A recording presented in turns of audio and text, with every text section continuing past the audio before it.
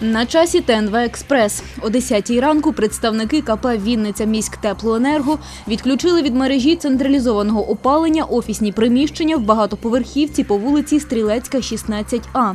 Приводом до таких радикальних дій стало несанкціоноване використання послуг із централізованого опалення приватними особами. За фактом крадіжки теплової енергії порушено кримінальне провадження.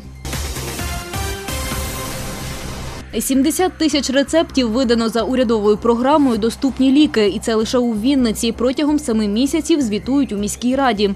Безкоштовними ліками забезпечують насамперед хворих на серцево-судинні патології, цукровий діабет другого типу і бронхіальну астму.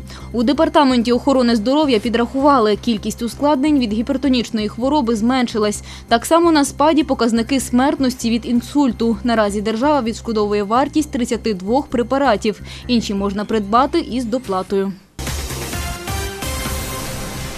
У Вінниці визначили кращі проекти конкурсу бюджету громадських ініціатив. Вони фінансуються з міського бюджету Вінниці та розподіляються на великі від 200 тисяч до мільйона гривень та малі до 200 тисяч. На їх реалізацію наступного року заплановано витратити до 7 мільйонів гривень.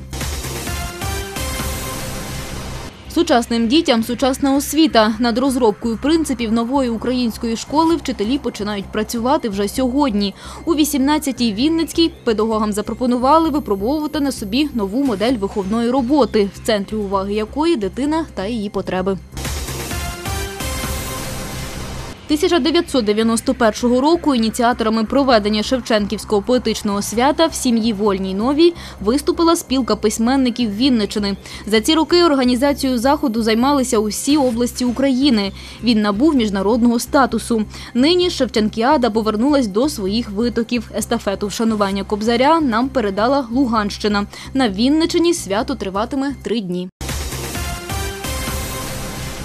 У Барському польському домі пройшла перша міжнародна наукова історично-краєзнавча конференція Вінницька Катинь, присвячена жертвам розстрілів 37-38 років. У ній взяли участь 60 науковців з України та Польщі. У селі Снітків Муровино-Курилевецького району встановили пам'ятний хрест загиблим полякам. 600-кілограмовий монумент створили спільними зусиллями місцевої громади та польських волонтерів з міста Лігниці.